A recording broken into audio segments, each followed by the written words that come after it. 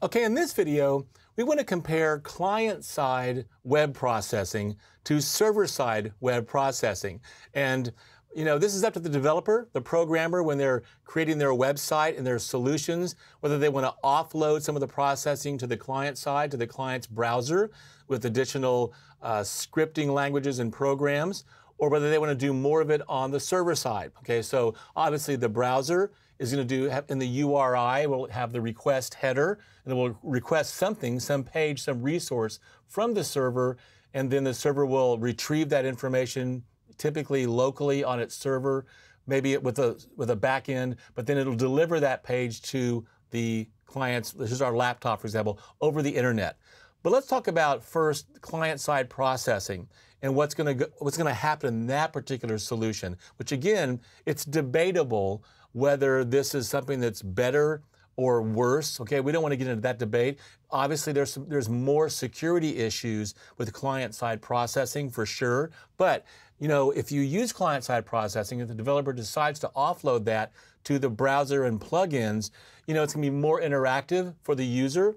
Uh, it's going to have more, you know, dynamic pages. They can take advantage of local storage on that machine and uh, take advantage of memory, RAM memory on that machine and caching on that machine. Obviously, cookies uh, are going to run on the client side. Uh, the client has more power to initiate certain requests for certain activities.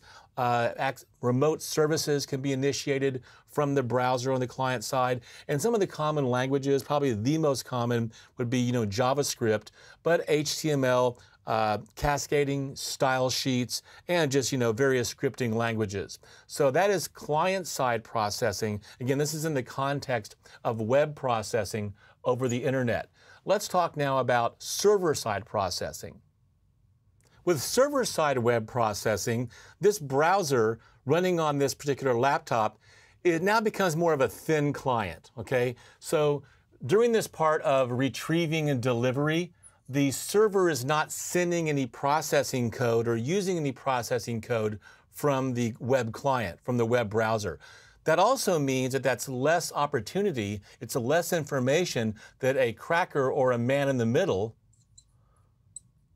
learns about the server side and it's less vulnerability for the server as well.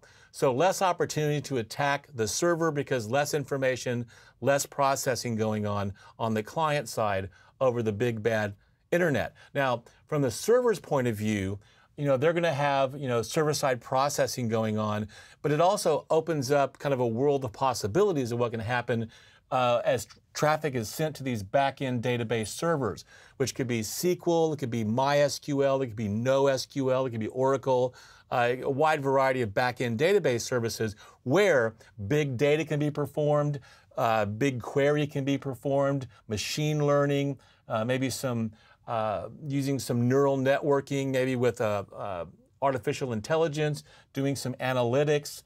So there, there's so much more potential with server-side processing because a lot of these things are simply not going to be done on the, the client-side processing. Some of the most common languages that we would use, and there's a lot, but you know, PHP and Python on the server side, uh, ASP.NET and C Sharp, uh, for statistics and analytics. We're starting to see a lot more data science being done with the R language. So, uh, as we can see, uh, two differences uh, between client-side web processing and server-side web processing.